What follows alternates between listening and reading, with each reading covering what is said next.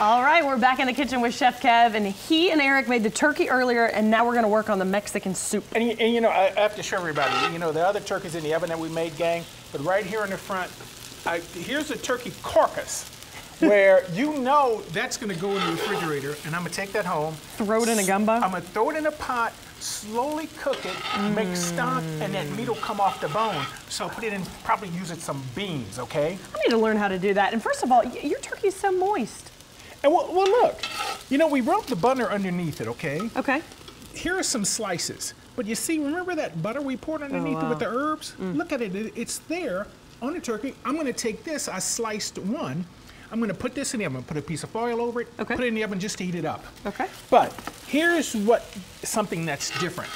So we started sauteing some onions. Mm -hmm. What we have here Okay. is oregano, chili powder. I have smoked paprika, Ooh. Granulated g- onion, Okay. cumin, and a little bit of um, uh-huh, chipotle pepper. Ooh. Okay. Dump So- it in here.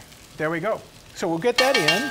And we just have the onions in here right now. Yeah, What, what just was the with onions. the onions? And a little bit of Creole seasoning. Okay. Oh, that was just a little olive oil. Wait, wait, wait. It's that time of the year. Stocking stuffer, people. Chef Kev has his own Cajun seasoning. Every year, that's what I put in stockings. There we go. Okay. Put it in your stockings. It'll keep you keep your legs nice and moist. So here we go. I mean, stockings like now, Christmas stockings. now this is a pozole. Basically, gang, pozole is a Mexican soup. Okay. okay. It, it's it, if you've had tortilla soup, very very similar to that. Okay. We're putting in. We're gonna put in some garlic. Okay. This is perfect because uh, Eric and Sheba have been a little, a little under the weather lately, so this will be nice and warm. You know, this is great for cooler weather. Yeah. Look, minced jalapenos. Ooh. I think this might be too spicy for me. No, it'll be all right. Okay. It, it'll be fine.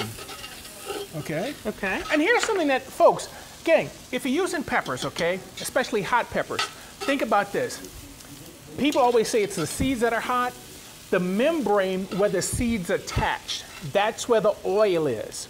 So where the seeds attach in a pepper, that's the membrane, and that's where all the oil is. And it's the oil in the pepper that makes it hot. I didn't know that. There we go. That's right. So here, what we have, this is hominy Okay. which is basically corn. And you see white hominy. Instead of the Trinity, we're using the hominy. We're using a hominy. hominy, hominy. so there's yellow and white. Okay. And every traditional pozole I've ever seen, they've always used the white hominy. Okay. Okay. And we also have some um, um, um, uh, green chilies. Okay. So we'll get some green chilies in there. Ooh, yum. Okay. We'll get some of our hominy in. Wow. We'll get all that stirred in. Okay. And now let's get in a little stock. Okay. This is some chicken stock, oh, Okay. all right?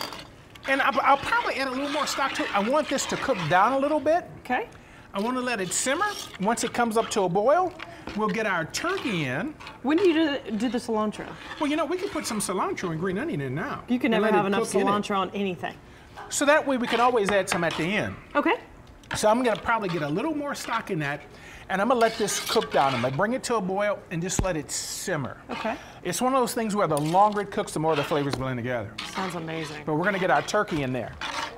Okay, and that'll help cut some of the spiciness. Yes. Okay. Yeah. Oh, cool. Yeah, no, look, look. We're gonna garnish this with avocado.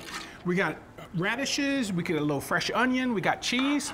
Hey, there we go, gang. All right, stick with us. We'll have the rest of, of the recipe at 8 o'clock.